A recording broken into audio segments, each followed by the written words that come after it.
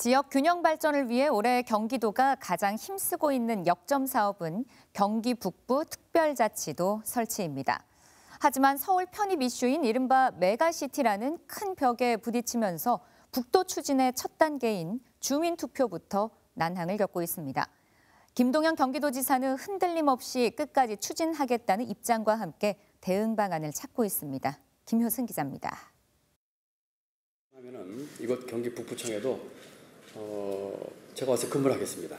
분명한 것은 추진하겠다는 강력한 의지와 반드시 경기 북부를 대한민국의 성장의 중심을 만들겠다고 하는 방향입니다. 민선 8기 김동연 경기도지사의 임기 시작과 함께 쏘아 올려진 경기 북부 특별자치도.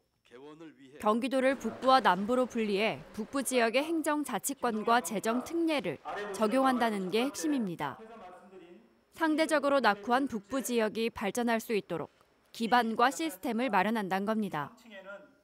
이를 위해 지난해 12월 민관합동위원회가 출범했고 올해 3월엔 타당성 검토를 위한 연구 용역이 시작됐습니다.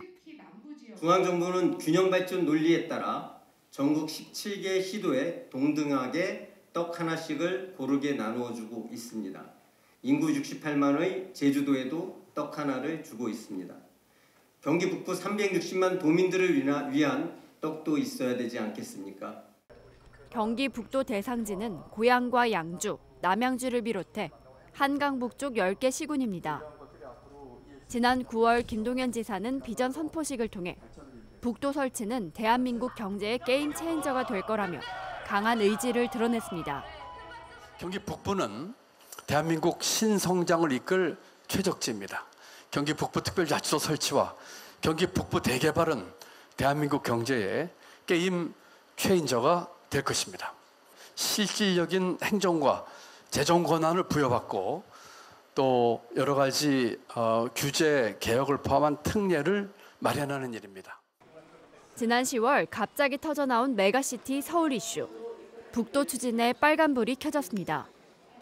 여당이 김포시를 서울로 편입하는 특별법 추진에 나선 겁니다.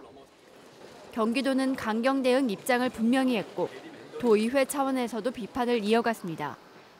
저는 국민의힘입니다. 그렇지만 이제는 정당을 초월해서 빠른 시간에 분도를 해야 되는데 불구하고 김포를 비롯한 서울 인근에 있는 시군들이 다 서울로 가겠다 그럽니다.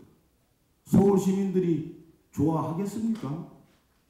실마리를 찾고자 서울시장과 경기도지사, 인천시장이 모이기도 했지만 총선과 함께 사라질 그런 이슈가 아닌가 싶어서 어, 아주 개탄스럽고 또 이와 같은 정치를 앞두고 하는 이 정치 쇼나 사기에 대해서 어, 국민 여러분께서 두는 부럽듯이고 출발점이 다르다 보니까 아, 서로 그 부분에 대해서는 뭐 오늘 짧은 시간에 어떤 공통점을 발견하기는 쉽지 않을 것 같고요. 서로 입장 차이만 확인한 채 회동은 마무리됐습니다. 올해 국회 임기 안에 경기 북부 특별자치도 특별법 통과를 목표로 해왔던 경기도. 지난 9월부터 행정안전부에 주민투표 절차를 건의하고 신속한 결정을 수차례 당부했지만 행안부는 아직까지도 묵묵부답입니다. 특별법 통과를 위한 마지노선 12월 중순을 넘기면서 사실상 추진이 어려운 것 아니냐는 목소리도 나오고 있지만 김동연 지사는 굴하지 않고 담대히 추진하겠다는 입장을 밝혔습니다.